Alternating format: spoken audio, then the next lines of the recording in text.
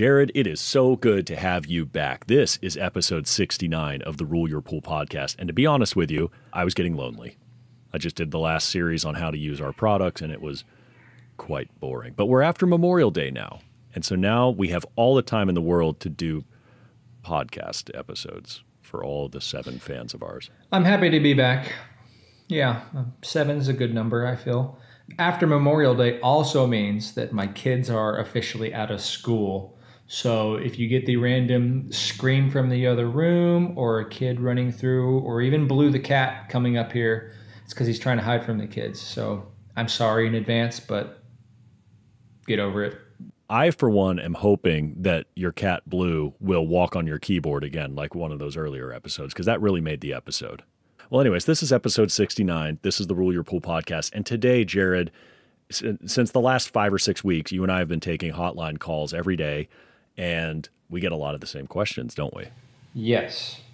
What are we going to cover on this episode, though? This specific episode, as you can see from the extensive show notes, the three bullet points that I made minutes ago, we are going to be talking about why our advice at Orenda often is different or conflicts with industry standards, or it conflicts with a pool store or textbooks. I can't wait. Let's just get through this intro real quick so we can get to the meat and potatoes. Let's do it.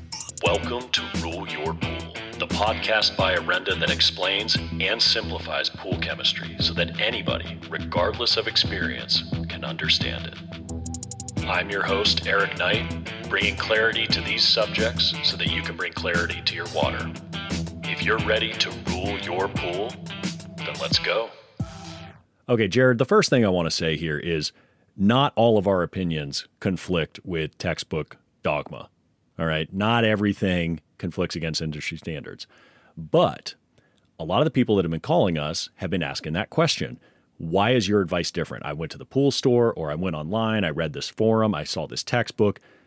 And how would you summarize? Why are we different from what everybody sees? because we take a LSI first approach and range chemistry second. So if you build your foundation, as we've talked about before, on a water chemistry that's not going to etch, it's not going to scale onto surfaces, that's what your LSI is determining everybody. So if you build it on that and you keep your quote unquote range chemistry, you know, in those parameters, great, because you can achieve LSI balance in range chemistry. But in situations, you're going to have to move outside of those ranges occasionally to keep the LSI balanced, which is what we always teach LSI first, range chemistry second. Right. Well, perhaps we should explain range chemistry for those of you who have not listened to every single podcast and binged it. By the way, the seven of you who do, we love you so much. But by the way, it, Jared, we might actually break double digits on subscribers after this episode because this one's going to be fire. Let's do it. I'm, I'm ready for 10. Yeah like 10, maybe even 11. I don't want to get too ambitious on our fan base, but range chemistry refers to what the textbooks say. What should the pH be? 7.4 to 7.6 ideally. That's a range. 7.2 to 7.8, or maybe it's 7.2 to 7.6 for some books, or 7.4 to 7.8 for other textbooks. Then you have manufacturers who will say, well, you need it to be 7.4 to 7.6. That's just one example of a range. How about alkalinity? What does the textbook say? What should alkalinity be? 80 to 120, ideally right on the money at 100. Just keep it in the middle, everybody. Right. And yet we disagree with that, especially in season, but not out of season, right? Because we, again, we're looking at the LSI. Water temperature changes what your alkalinity should be, and so does your chlorine type. And then you got calcium hardness, 200 to 400, or maybe 150 to 350 or some vinyl liner and fiberglass. Yeah, I was going to say the, the a lot of people call me and say my vinyl liner company told me I needed to maintain my calcium at 150 parts. Oh, fiberglass companies say the same thing. Oh, I can't have too much. I can't have over 200 parts per million calcium. I'm like, really? Because you're in Michigan. Yeah. That's absurd to us because, again, we're looking at the holistic balance of water. We're looking at what water cares about, not what the textbooks say it should care about. Water never read the textbook. Kind of like Jared here. Jared never read the textbook either.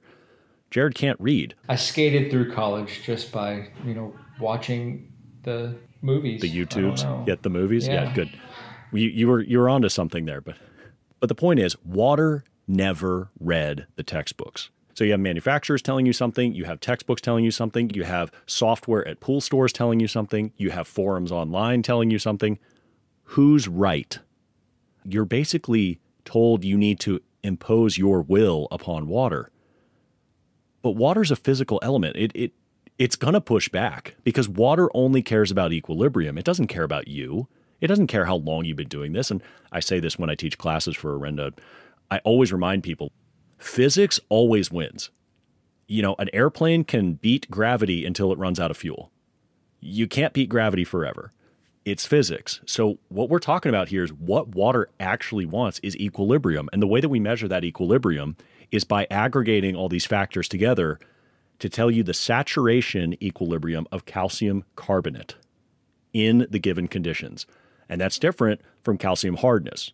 Calcium hardness, of course, is the amount of calcium carbonate in your water, but how saturated that is is measured using the LSI, the Langelier Saturation Index. And on that note, people are fearful of calcium in their water, and that's that's where a lot of these recommendations from manufacturers and range chemistries come from because they're trying to make something that's easy to follow, easy to understand. It's for the masses you know keep it in this nice neat box and just give everybody these parameters to follow.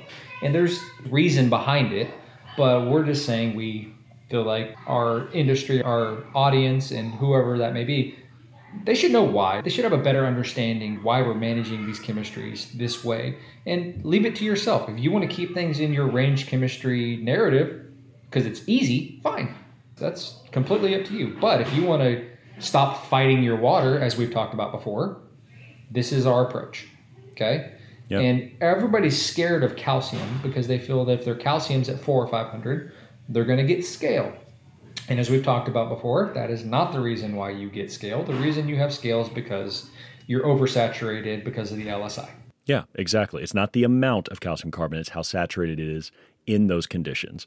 So that brings me up to an interesting point that was not in the extensive show notes. Why is everybody concerned about scale when they should be concerned about etching and damage to a fiberglass or vinyl liner pool? They seem to be thinking the opposite of what's most important because scale can be cleaned up, but etching and pitting and destroyed gel coats and fading vinyl liners, that's permanent damage. Why do you think that is? Honestly, because I think that everybody has the opposite approach that we do. They want to keep their range chemistries in these parameters of a 7.4 or 7.2 pH to get their chlorine as efficient as possible, everybody. But you know that that's that's making your LSI super aggressive to do that, and I think it's a trade off of well, I'd rather keep my pH low, my chlorine strong, and not have algae and that's just a side effect of what it is. It's not that you think about etching. Etching just happens over a period of time and then it shows up one day and then you can't put the cement back in. I remember at our HOA when I was a summer league swim coach, we were told you have to replace this white coat, meaning the plaster, every 5 years. That was just expected. And that's ridiculous now that I know better. Every 5 years, well, you're running an acid feeder, you're trying to maintain these pHs. No one's talking about cyanuric acid completely throwing the pH controlling your chlorine strength out the window. No one's talking about that. But the truth is, to Jared's point, aggressive water looks good. It looks really good. It looks clean, it looks clear. What's wrong with that? Well, it's destroying your pool. That's what's wrong with it. And I don't care if you have a fiberglass pool, a vinyl liner pool, or a plaster pool, it doesn't matter. If the water's hungry, it's going to eat and it's going to get hangry until it's full. But this is an LSI lesson. I don't want to get too much into the, the weeds on that. But that's really the fundamental difference between our recommendations at Orenda and everybody else's. Everything is based on range chemistry that was standardized. And I think you had mentioned earlier, not in this podcast, but in another conversation we had, that it was oversimplified. It was based on convenience. These ranges were created to make it easy. But here's the problem Do you really think you need to treat a pool the same way in Miami as you do in Montana or Michigan or Southern California? How about Tucson compared to Traverse City? We have totally different climates, totally different water temperature parameters, different rainfall, different evaporation rates there's no way that these ranges are going to be acceptable in every single market. And we know that. The LSI proves that. So, for instance, you're in Texas. Jared, where do you keep your calcium hardness? Where do I keep it, or where should I keep? On your no, where, where? Well, okay, I didn't know it was different. Okay, truth in lending here. You're in Texas. You have a pool. My calcium is around 550 plus or minus. Oh, the heresy! The heresy! And I'm meticulous about my pool. I pay attention to it all the time, and I can maintain it. Now, I'm not saying that this is the way it needs to be done. I'm just saying it can be done this way, right? It gets hot here in the summer. Eventually, my pool, we're in the summer, it's going to get up to probably 91, 92 degree water temperature. That's pretty high with a high calcium level. I know I have to offset with a lower alkalinity and a lower pH to make it happy, right? Well, hold on. How low is your alkalinity? 50 or 60. Oh my gosh, you're below the range there too. You are a heretic in both directions. Now, here's my question Was it 50 or 60 all winter long? No. Or only in the summer? It fluctuates by how much acid I'm adding because that's going to knock my alkalinity down. But if I'm not really adding acid in the wintertime, which I'm not, I know my calcium's at 550. I'm going to let my pH drift up to 7, 8, or even 8.0 for that matter, which is not going to knock my alkalinity down. So I'm going to balance my LSI over the wintertime and I have no problems. Yeah, as long as it's LSI balanced, that's all water cares about. Water never read the textbook. It cares about the LSI. So if you have 500 calcium and you have 50 alkalinity and it works on the LSI, water's happy and it's not going to attack your surface, regardless of the surface you have. The idea that you have to have different water chemistry for a plaster pool compared to a fiberglass or a vinyl liner pool is bunk. That is not true, in our opinion, because we're caring about what water wants not what the surface is. If you minimize the interaction between the water and the surface, meaning you saturate water properly so it cannot attack the surface, who cares what the surface is? It doesn't matter. Speaking of range chemistry, there's one thing we do need to kind of touch on here to clarify.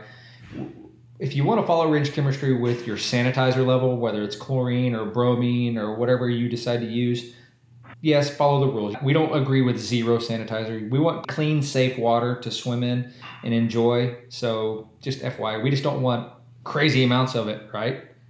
We're minimalists. We want to take things out. I think I talked about this in one of our earlier podcasts. They're all kind of blurring together at this point. But we want to take factors out of the equation. We want the simplest, purest water possible. I don't believe in a chlorine free pool. I don't know that it's really possible if there's any bather load, you need some residual sanitizer in the water. But the idea of using chlorine as a primary to handle everything is ridiculous. I see it all the time. I mean, customers call us, I see them on Facebook as well, talking about things like the SLAM method shock, level, and maintain. Comes from an online forum. Okay. Can it work? Yeah, but that's like giving penicillin to your child who has the sniffles. Why would you do that? So you're going to throw chlorine at a problem that chlorine is not designed to fix. And now, a green pool, sure, chlorine will kill whatever's in there, assuming it's green because you have algae or tannins. But if you have copper and you didn't diagnose with, say, the white bucket test and figure out, hey, if I chlorinate this green water in a white bucket, does it get darker or does it clear up? You know, you could diagnose before you prescribe. But then if you just throw a ton of chlorine into the pool and you don't actually handle the organics, for instance, and you don't take them out of the equation, or the phosphates, and you don't take them out of the equation, the problem is just going to come back. No, just be mindful of it. And we don't want to throw a bunch of stuff into the pool. And at that point, you don't know what worked. What fixed the problem? Okay, you spent $300. Well, which one of those bottles or powders or whatever you added to the pool fixed it? What was the root of the problem? Well, it helps to diagnose. Like if you know the root of the problem, and we tend to know the root of most of these problems because we deal with them all the time, we can address the cause of the issue instead of throwing chlorine at everything. So that's another place that we're somewhat contrarian at Orenda. We disagree with a lot of the conventional wisdom out there. Now, Jared, I want to shift gears here because we've talked about how the LSI anchors our philosophy in terms of water balance, but there's two disciplines to water chemistry. You know, there's balance and then there's sanitization. And we've talked about both of them so far. But really, where I think we differ in our recommendations compared to pool stores, textbooks, online forums, and all this other stuff is we want to talk about preparing water for where it's going to be. It's one thing to balance your water today, it's one thing to get it in range chemistry today. And then you're acting all surprised a week from now when it's out of balance or it's out of these ranges because you didn't realize why the pH rose. These are the things that we can actually predict because we know what water's going to do based on the readings that are given. That's what's so cool about this. So if you follow our philosophy and you use the Orenda app and you understand that CO2 is going to leave, you start paying more attention to factors like what is your actual carbonate alkalinity? What is your cyanuric acid to correct for that? What is your calcium hardness to offset it? Alkalinity is going to matter because that's what's going to determine how high your pH can naturally rise due to CO2 loss. We've talked about this in previous episodes. Auto covers. Does your pool have an auto cover? That matters because it can suppress pH by keeping CO2 in. What type of chlorine are you using? Is it trichlor? That's acidic. Salt pool, that's going to raise the pH. We have a whole episode on that as well. All of these things matter so that we can predict where is your water chemistry going. And if we know that, then we can build a strategy based on the LSI to contain it so that you can keep your water balanced week after week. Unfortunately, if you are focused on range chemistry, like what's printed out at the pool store or online or textbooks, whatever, you are blind to what is going to happen to that water. You're not just blind, you're going to fight it.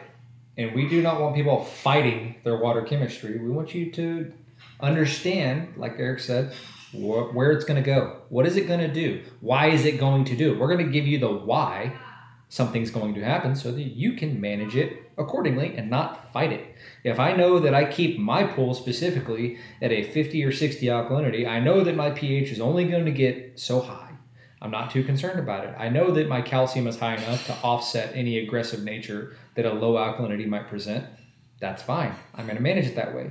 But as an industry, we get blinded by these ranges and we feel that we have to defend ourselves or have something that's defendable if somebody else were to walk into your backyard or walk into your store and you give a prescription for what needs to happen to that water, well, you can say, I kept it within ranges. That's the safe, comfort answer, right? Well, as a service guy, I'm going to walk into, or not just me, anybody in the industry would walk into a backyard. The first thing that they're going to do is check the water chemistry and see how messed up it was. Yeah, you're well, looking for a problem. Absolutely. I'm here to sell my service.